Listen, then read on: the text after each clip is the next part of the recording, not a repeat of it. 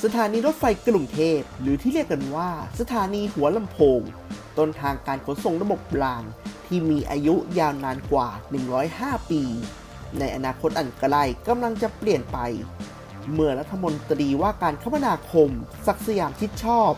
มอบนโยบายให้การรถไฟ เปลี่ยนต้นทางจากหัวลำโพง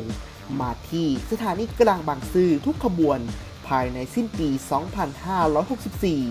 อ้างว่าเพื่อแก้ปัญหารถติดที่บริเวณจุดตัดทางรถไฟ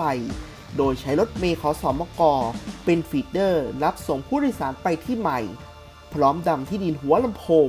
120 ไร่ มาพัฒนา landmark ใหม่ ปรับปรุงอาคารโดมด้านหน้าสถานีเดิม ให้เป็นพิพิธภัณฑ์ ส่วนตึกแดงตึกคลังพัสดุ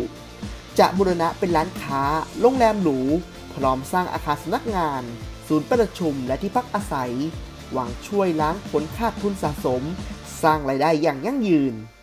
เรื่องนี้กลายเป็นประเด็นร้อน มีทั้งเห็นด้วยและไม่เห็นด้วย ฝ่ายที่ไม่เห็นด้วยมองว่าเป็นการผลักภาระให้ประชาชน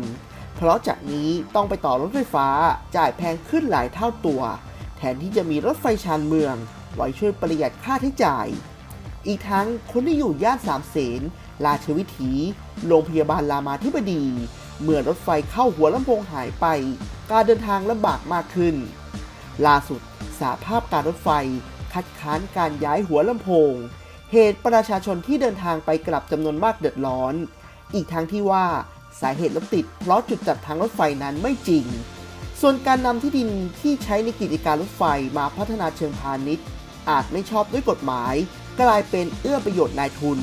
โดยชี้ว่าการติดหัวลำโพง คือการด้อยค่าประวัติศาสตร์ จึงต้องคัดค้าน เพื่อสืบทอดเจตนารมณ์ของรัชกาลที่ 5 ที่ทรงพระราชทานกิจการรถไฟ เพื่อรัฐและประชาชน อย่างไรก็ตาม ปัจจุบันหัวลำโพงค่อนข้างเสื่อมโทรมเต็มไปด้วยกลุ่มคนไร้บ้าน ที่นอนพักอาศัยบริเวณโดยรอบนำซ้ำยังก่อเหตุอาชญากรรมคุกคามประชาชนอีกด้วย จึงน่าคิดว่า อนาคตหัวลำโพงต่อจากนี้จะเป็นอย่างไร การพัฒนาที่ดีหัวลำโพงนับจากนี้ ใครจะได้ประโยชน์ ระหว่างการรถไฟ ประชาชน หรือกลุ่มนายทุนกันแน่